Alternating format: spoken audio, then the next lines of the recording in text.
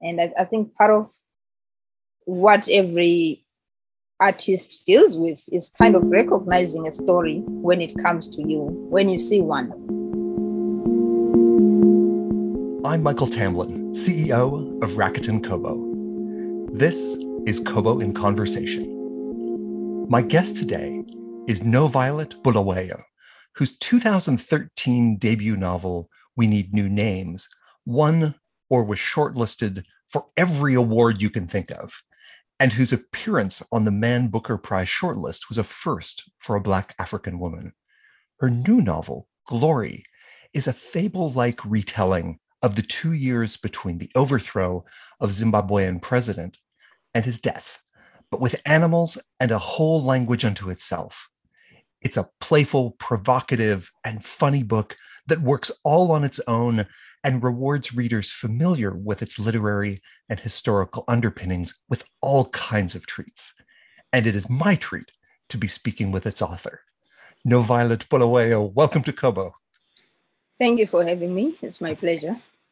For a book about political turmoil and a violent legacy, I, uh, Glory is a very fun novel. was it was it fun to write? Did you enjoy writing it? Thank you. I, am very pleased to to hear that. Yes, I enjoyed writing the book. Um, you know, it took about two, two, uh, three and a half years, and I sure had to reward myself by uh, entertaining.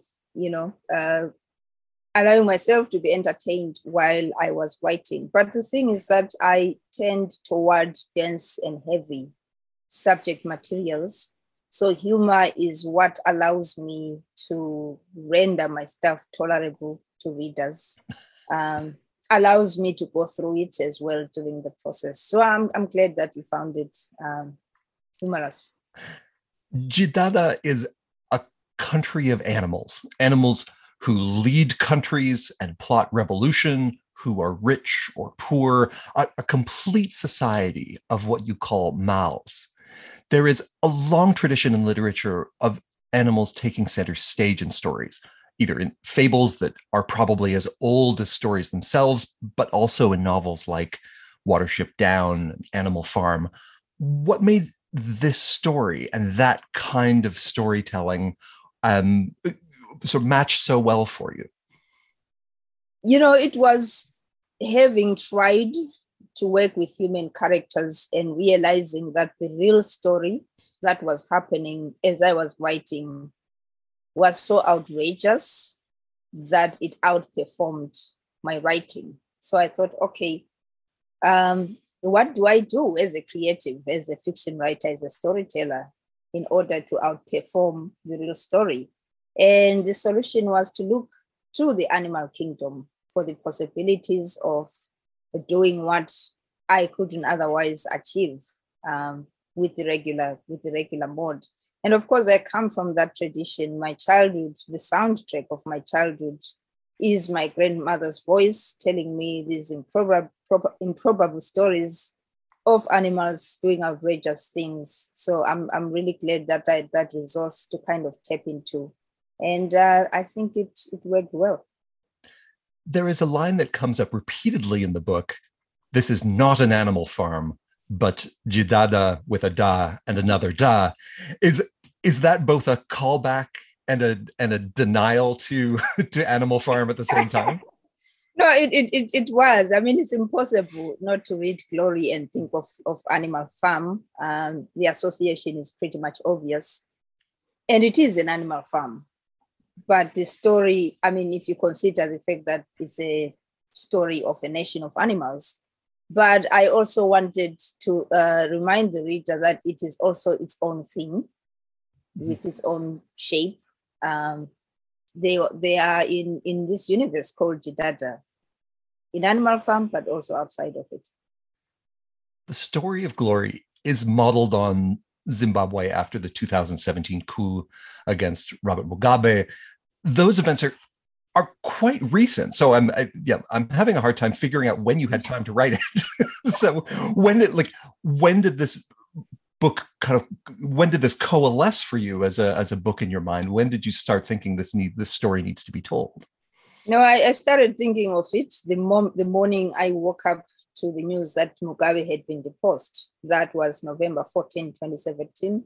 I knew there was a story there, and I was not the only I was not the only one. Everybody was on the fall of Mugabe and the Zimbabwean story. And uh, yes, it was a bit challenging. The, the subsequent months and years trying to keep track of this drama that was unfolding was a bit challenging because it showed me that I really couldn't do much about things that I was not in control of. Hence, I sort of pivoted um, and worked with fiction.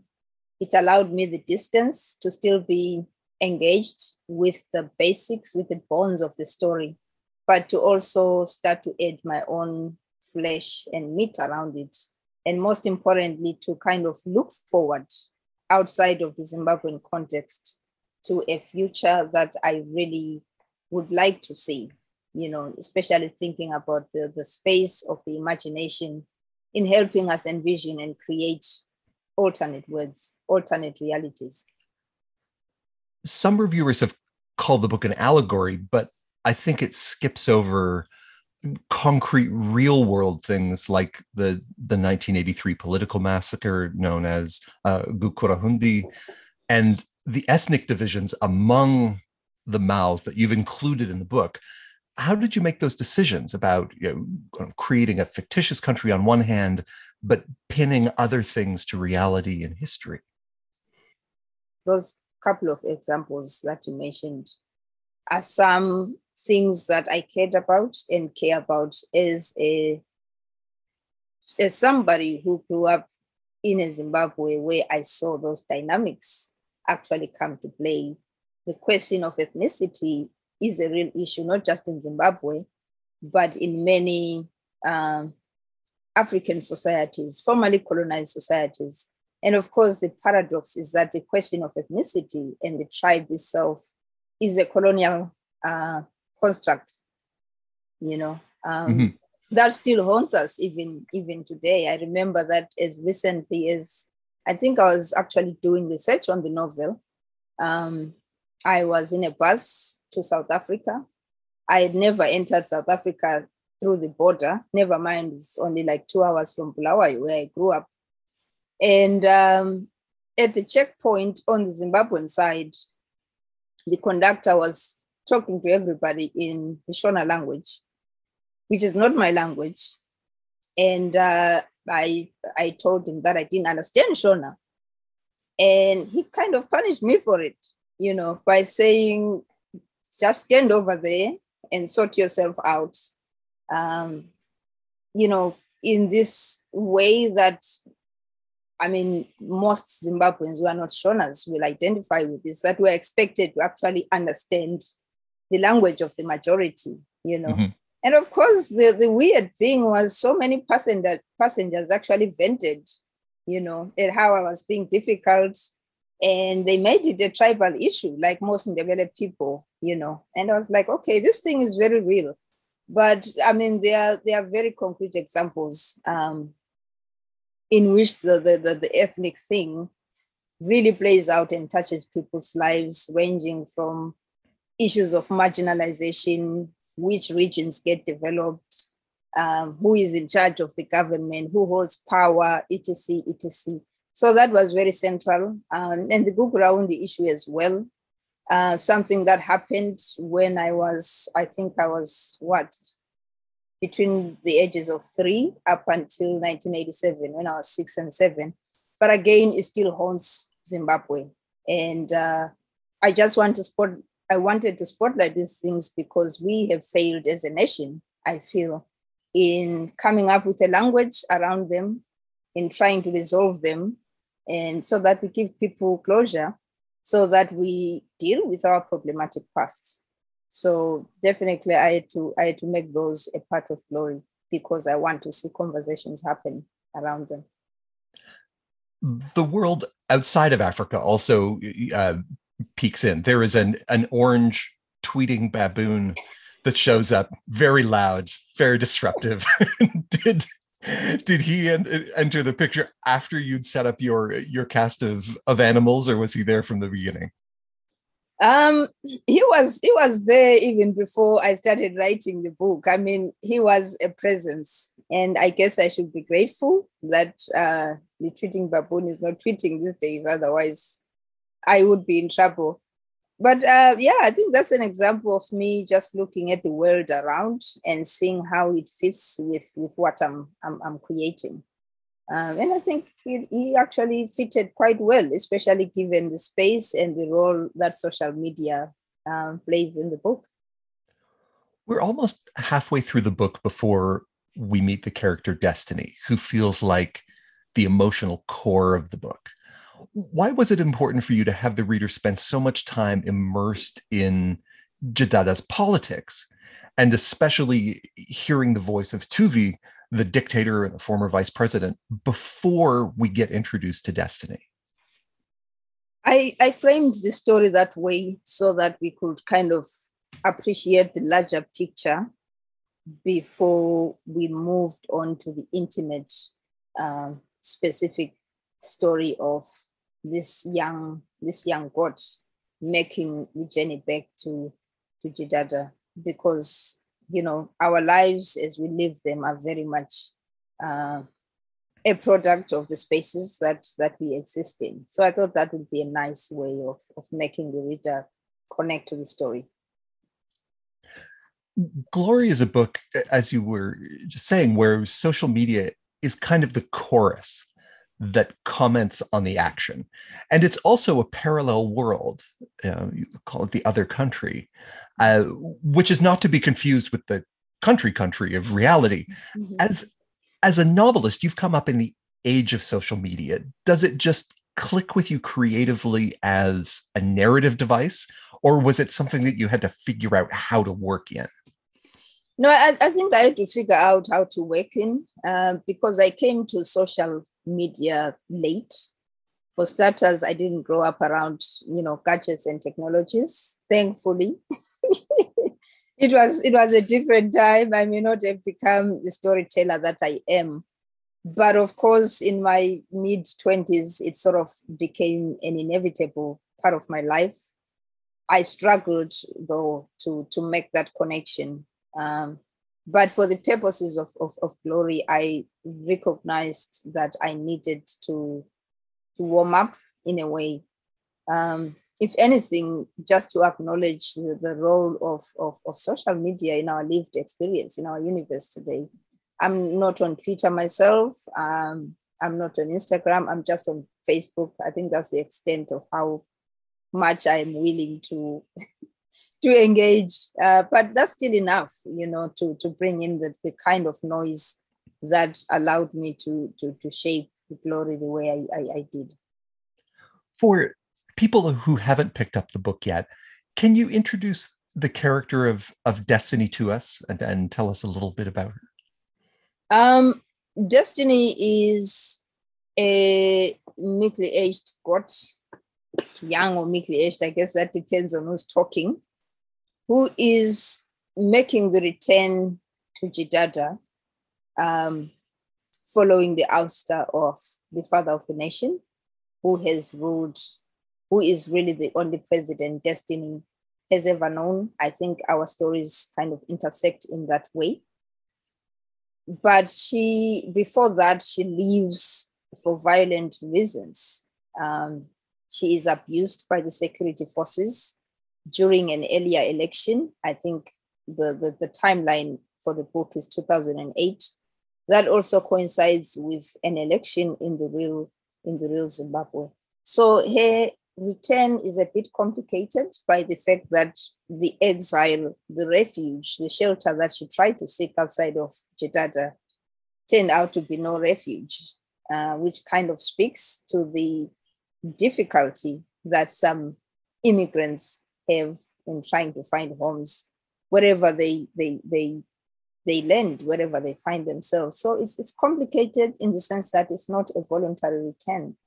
She has to go because she has nowhere to go except to the home from which she fled uh, at least a decade before that. She comes to confront her past, only to realize that that past is actually tied to her own mother's violent past, a past that she never quite knew because the mother kept this rigid wall of silence around her own trauma. That silence is broken down through the act of storytelling.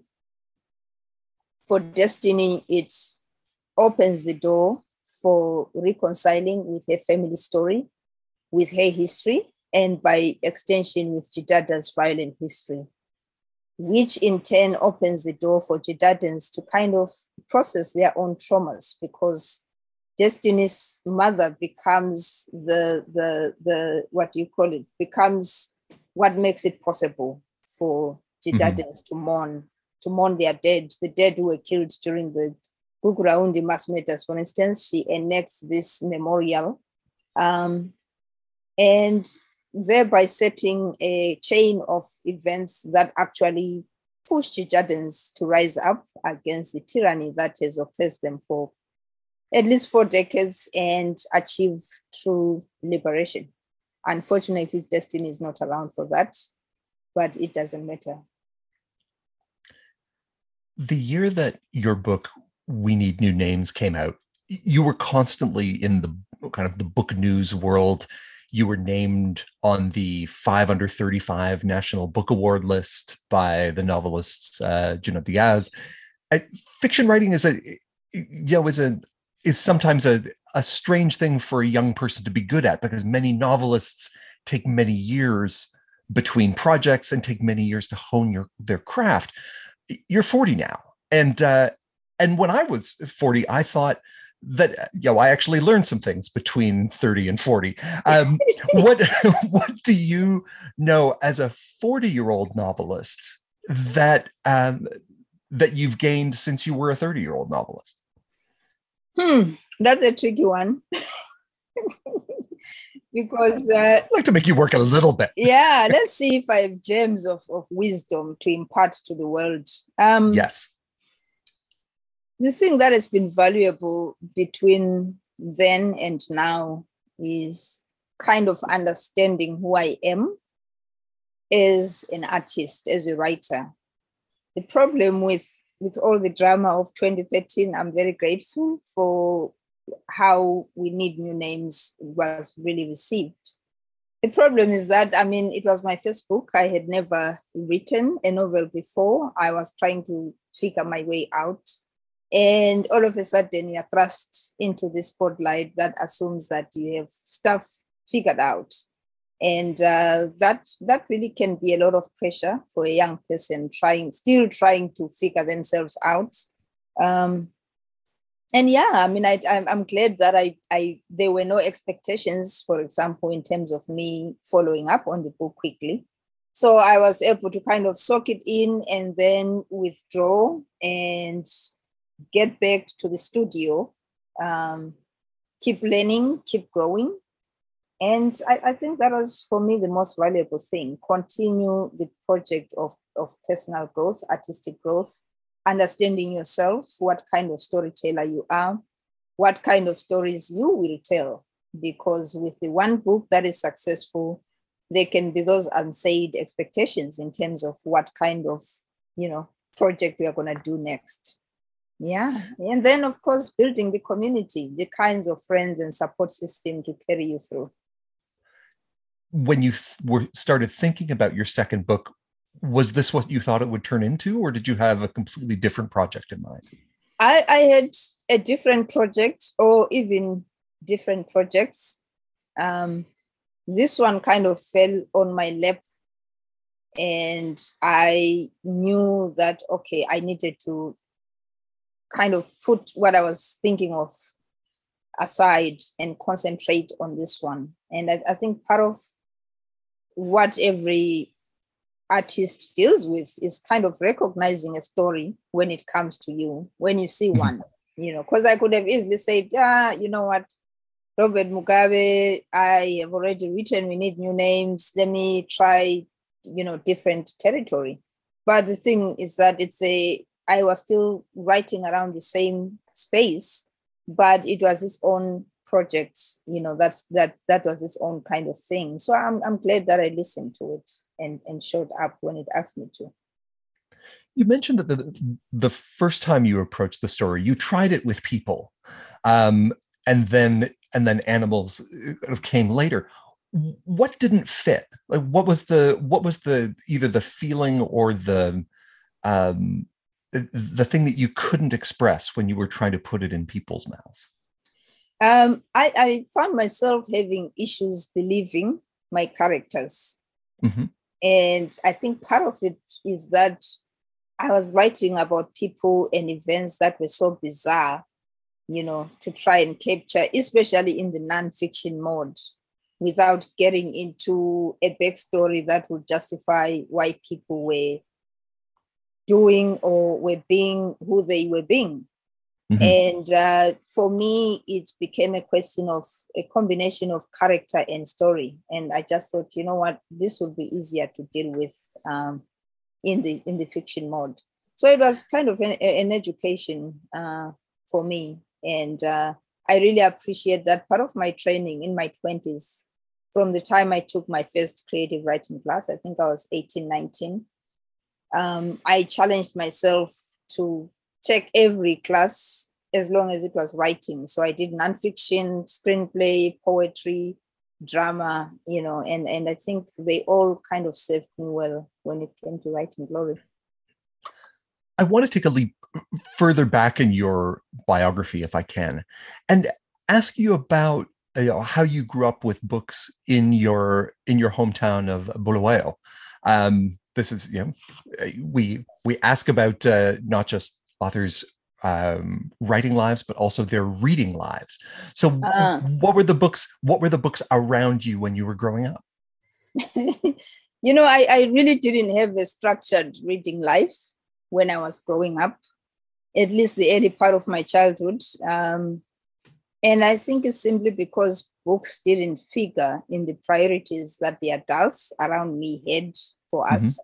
So I, I generally read whatever was there. When I saw a book, I read it. It was random reading. Um, but of course, the space of books was was filled quite generously by oral oral stories, and mm-hmm. the, and my imagination certainly benefited from the fact that I had an interesting childhood that was colorful, that was beautiful, and that was crazy um, in all the good ways.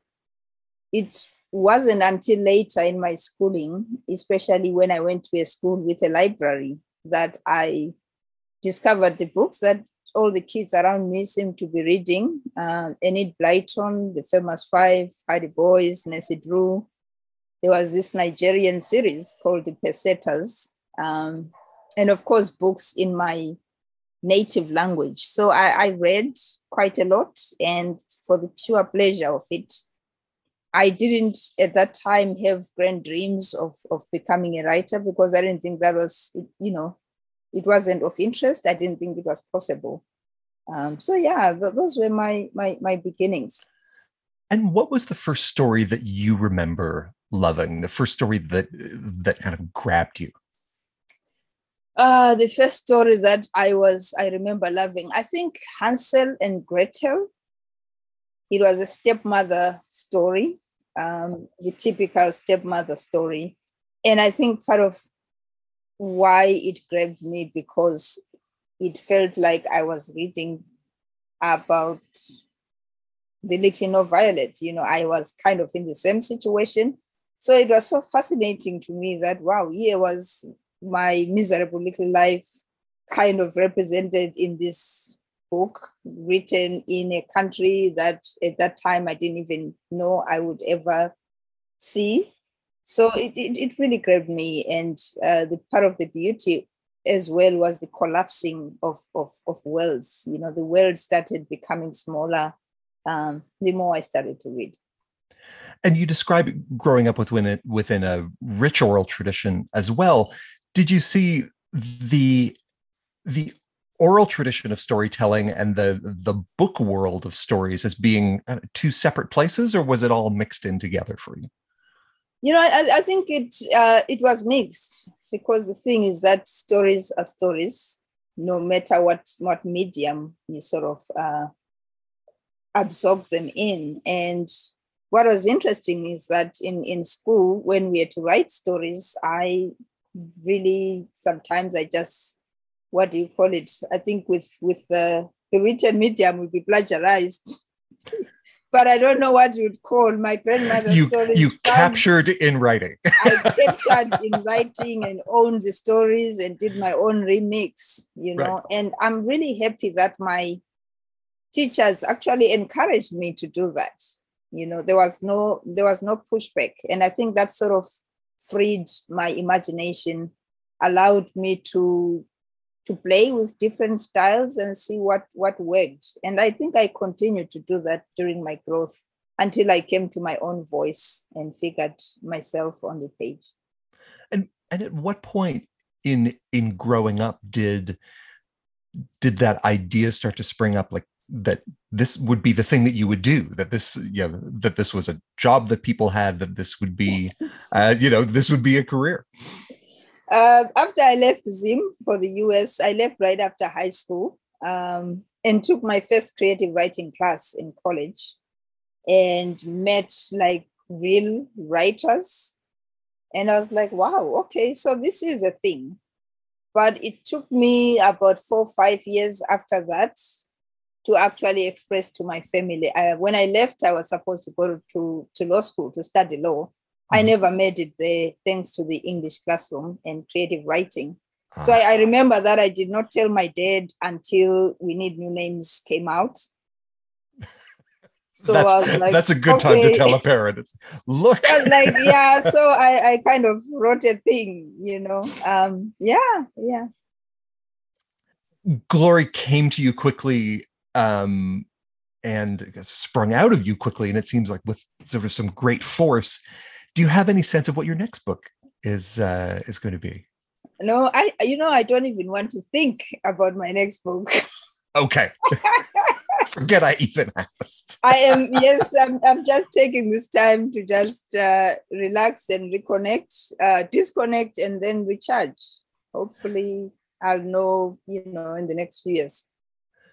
And who are the uh, who are the authors and and what are the books that are around you right now? Um, I just picked up a collection, poetry collection, Customs by Solmaz Sharif, just yesterday at the store. Um, on my desk is Even the Dogs by Jon McGregor, mm-hmm. a book that I just open randomly any any day, and I, I'm really in love with his stylistic inventiveness. Um, there is the sex lives of African women. Again, I it's, it's one of the books that I keep going back to. So th- those are some of the, the books that are around me at the time. And when you started Glory, were there any books that you that you reached out to or that you reread as you were deciding to embark on on a fable? Um, I reread for the I don't know how many times uh, Hundred Years of Solitude by Gabriel Garcia Marquez, especially for the sheer breadth of mm-hmm. his imagination. You know, um, I needed a book that was license giving that way. That kind of said it's okay to write a thing where anything happens, and I'm quite grateful for him for that then I did read some dictator novels, The Obvious uh, Suspects, The Brief Wondrous Life of Oscar Wilde by Junot Diaz, um, The Wizard of the Crow by Ngugi wa Thiong'o. Uh, read The Feast of the Goat and uh, Waiting for the Wild Beasts to Vote. So those were my my companion companion books. As uh, as soon as the the wife of the president reached out and changed the sun. That that to me felt like a marquez uh, moment right there. It was fantastic. The audiobook of glory is is narrated by uh, chipo chung who does an incredible job. Yes. And and she is also the voice for uh several novels by uh, Zimbabwean novelist uh, Tsitsi Dang uh, Arembaga. Mm-hmm. What's your relationship with with the audiobooks? Does was that oral storytelling uh, playing much of a role in your writing process as you were putting the book together, or were you thinking about it being something that someone might read aloud? You know, I, I, I wasn't thinking about it that way. I knew that we needed an audio book, and I had actually told my my agent upfront that I would read it myself because the complaints by most Zimbabweans and Africans were that uh, the American accent didn't work for them with We Need New Mhm. Names. So I was like, well, I'm going to read my own book. And then I ended up writing this big book that was crazy. And I was like, okay, I forget I said that. This needs a, a trained professional. And I think Chipo did such an amazing, amazing job. It's you know it it, make, it gives the book color and uh, makes it come to life in ways that I really never imagined on audio. and and for those who are listening i um i i cannot recommend it more the the, the book itself the characters come off the page uh chipo chung does an incredible job of illuminating the whole thing and bringing it to uh, bringing it to life so two equally good experiences NoViolet thank you so much for joining us Thank you, thank you for having me. I have been speaking with NoViolet Bulawayo, author of the new novel Glory. All of the books we talked about can be found at kobo.com slash conversation. Check the show notes for a link. Be sure to catch every conversation by subscribing wherever you listen. Kobo in Conversation is produced by Nathan Maharaj and hosted by me, Michael Tamblyn. Thank you for listening.